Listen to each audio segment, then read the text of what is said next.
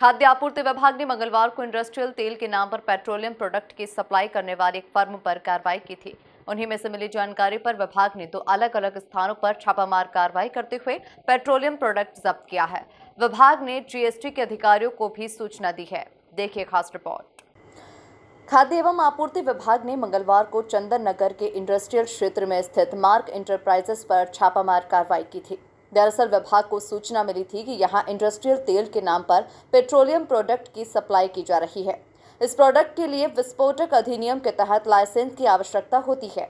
साथ ही स्टोर करने के लिए सुरक्षा मानकों का पालन करना होता है।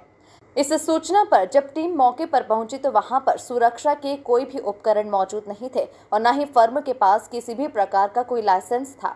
विभाग ने गोदाम से लगभग दस हज़ार लीटर पेट्रोलियम प्रोडक्ट जब्त किया था। फर्म के कर्ताधर्ताओं से जानकारी ली गई थी कि ये प्रोडक्ट जिन्हें सप्लाई किया जाता है, उनसे मिली जानकारी के अनुसार विभाग की टीम ने बुधवार को दो स्थानों पर छापामार कार्रवाई की, जिसमें स्वास्तिक इंटरप्राइजेस से 14 ड्रम और प्रगति इंटरप्राइजेस से 9 ड्रम पेट्रोलियम प्रोडक्ट जब्त किए गए। देखा होगा कि मार्क इंटरप्राइजेस पे हमने अवैध पेट्रोलियम प्रोडक्ट अत्यंत ज्वलनशील पकड़ा था, जो इंडस्ट्रियल ऑयल और इंडस्ट्रियल फ्यूल ऑयल की आड़ में बिल बनाकर उसका थीनर के तौर पर सॉल्वेंट के तौर पे यूज़ हो रहा है एमटीओ के तौर पर यूज़ हो रहा है।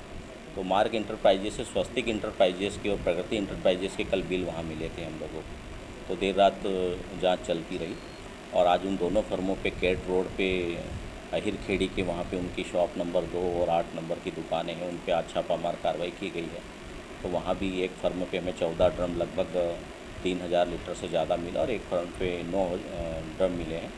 तो वहाँ पे भी लगभग दो हज़ार लीटर से ज़्यादा ये वही प्रोडक्ट मिला जो मार्क इंटरप्राइजेस के यहाँ पाया गया था। उसका गंद दिखने में वही सब पाया गया। तो ये समझ में आ रहा है कि ऑयल पेंट और पेंट की आड़ में एम टी ओ सॉल्वेंट इसका यूज़ हो रहा है और ये अत्यंत ज्वलनशील पदार्थ है और इसको इंडस्ट्रियल यूज़ के लिए होता है केवल। केवल इंडस्ट्री इसको ला सकती है और एंड यूज़र के तौर पर यूज़ कर सकती है। इसकी कहीं भी मार्केटिंग या क्रय विक्रय भंडारण नहीं हो सकता है। तीनों ही फर्म के पास न तो विस्फोटक अधिनियम के तहत कोई लाइसेंस है और न ही इस प्रोडक्ट की सप्लाई के लिए जीएसटी नंबर लिया गया।